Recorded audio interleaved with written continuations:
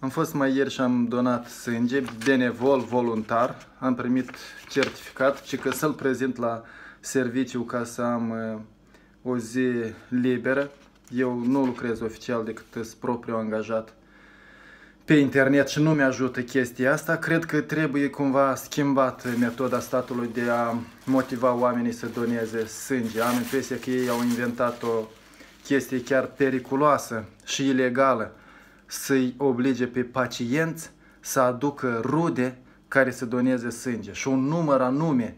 Ceea ce mi se pare criminal, e un fel de șantaj și asta trebuie schimbat. E chiar de mirare că șefa centrului de transfuzie a sângelui a ajuns pentru o vreme chiar ministru al sănătății și n-a făcut nicio schimbare.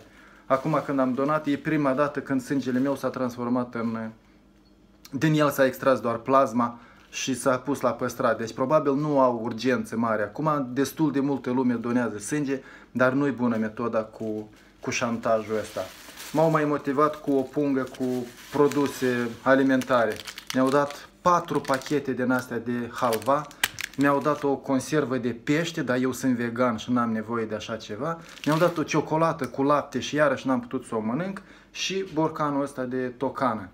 Eu cred că de când s-a inventat chestia cu taloanele alimentare, mai bine s-ar da taloane pe care nu poți să le schimbi pe alcool, de exemplu, tot produse alimentare te duci și cumperi și cumperi ce vrei. Cumperi miere, cumperi citrice, cumperi lapte dacă nu ești vegan ca brega.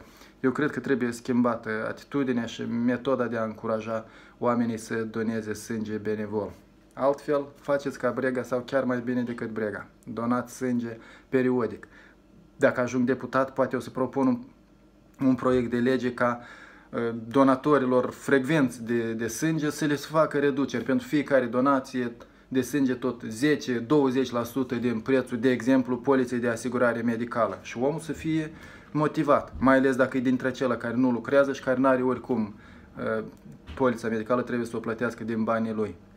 Trebuie gândite metode, trebuie învățat de la alții, dar cu șantajul nu merge, nu e de acceptat.